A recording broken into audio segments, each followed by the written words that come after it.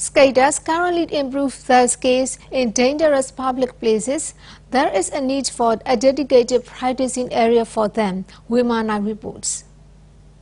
Skating became increasingly popular in Yangon, but skaters appear to have consent over skate facilities.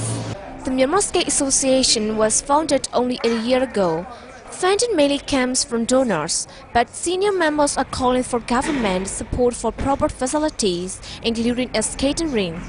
Our challenge is the lack of skating rink. We have to skate under the bridge, where we risk ourselves of accidents. We already submitted a request for the government to help us have a plot for skating rink, but no response yet. Here at Lena Overpass, about 30 skaters come every Friday night to practice the sport, despite every risk. Skaters are eager to develop skating as a popular sport in Myanmar and dream to one day join regional event. I have been skating for a year now. It was difficult in the first four months. We can't practice that much because we don't have a skating rink. If we can't do this internationally popular sport, we'll be behind the time.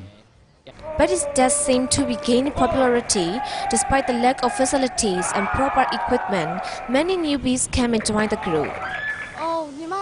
I've learned to skate just recently.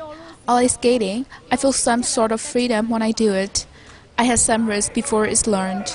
But because of the help of senior members, everything has gone very well. I will try to have skills for the competitions. This association aims to improve the skating in Myanmar and also want to build a skating community. Wei Manai reporting for Myanmar International Television.